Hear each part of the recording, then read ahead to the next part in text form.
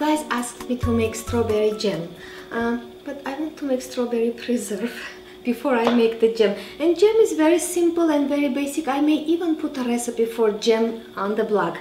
But let's make the preserve and what we need for that.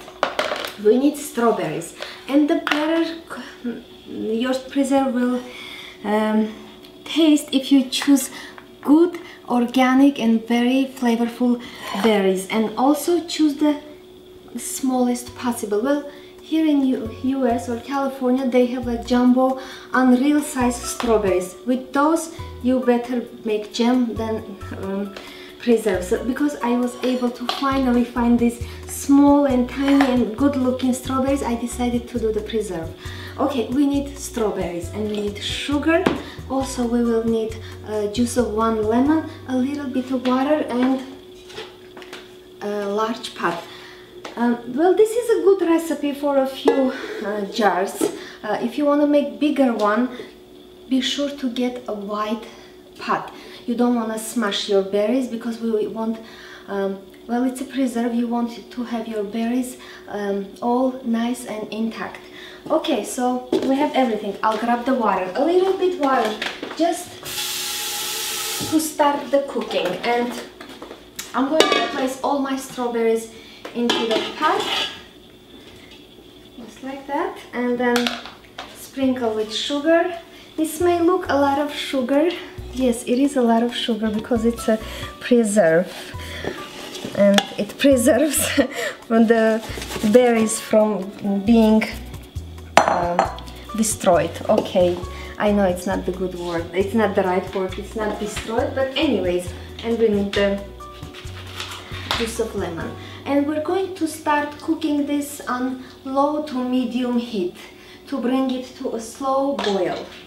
It will take a while. I, I, I'd say probably 15 to 25 minutes. And we're not stirring this. We're gonna wait and see what happens. And usually with uh, preserves that needs um, with this kind of preserve you better uh,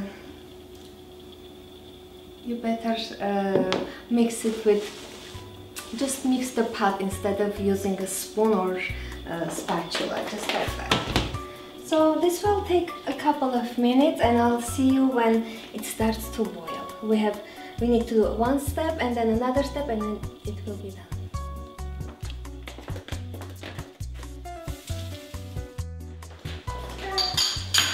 Okay, now this has been boiling about 20 minutes now.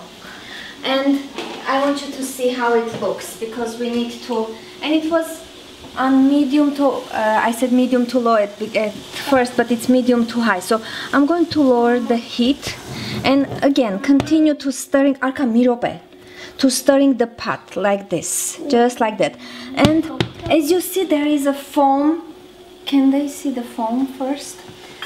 forming on top of this uh, preserve. What you're gonna do when you lower the heat, once in a while you would simply come and remove that foam. It's not gonna bother, it's nothing like to worry about, but uh, you want your preserve to have nice red beautiful color without any white foam on it. That's the purpose. Other than that, if you want it with foam, let, let, let the foam in there. So I'll continue cooking this about another 25 to 30 minutes and then we'll test the syrup. If it's thick enough, sets uh, quickly, then it's done. If not, we'll cook some more. Uh, some more.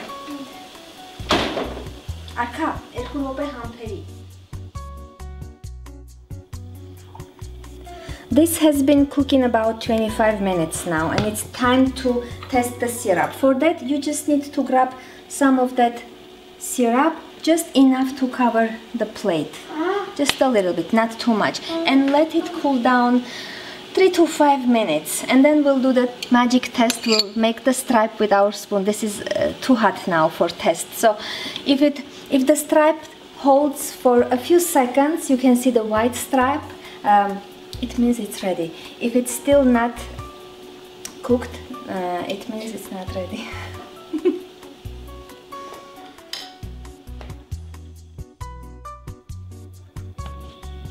It's time to test the syrup. And as I said, you will simply draw a line with your spoon and see if uh, you can see the white mark just like that.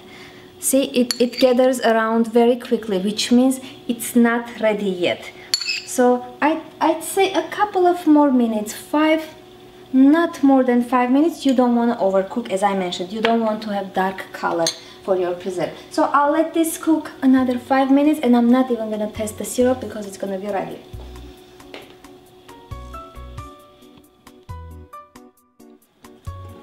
You don't have to do this. I just placed it in glass pot so you can see how it looks. And you can see how all the berries are whole and not smashed. They look just perfect. And for you to decide whether you want to um, place them in sterilized jar or simple any glass jar and save it in fridge. I sterilized a couple of jars for um, preserving. So I'll do a tutorial on how to sterilize and do the preserve the, the canning video. Okay and that's it. Very simple very easy and it took me about 45 minutes uh, to finish the preserve. Whole full recipe will be on my blog at heghineh.com. Check it out and I want to check out the taste. I saved one. Mm. This is so good and it looks much better than all smashed jam. Uh, I, I like using this with my cheesecake and I love this with my tea that's it I don't know how you like it but you know the recipe will be on the blog you can check it out make your own preserve when you get small nice looking berries thank you everyone for watching remember to subscribe to my channel like the video if you liked it and I'll see you soon yeah we're done